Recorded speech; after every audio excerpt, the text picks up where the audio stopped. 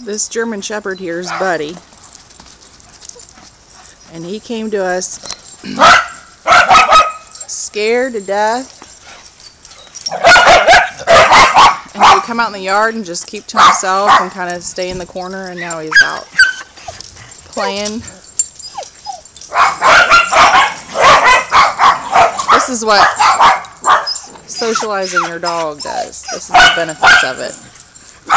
Look at him. Just just that he's out roaming around the yard is great.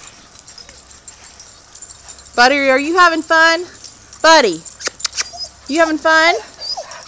You making friends?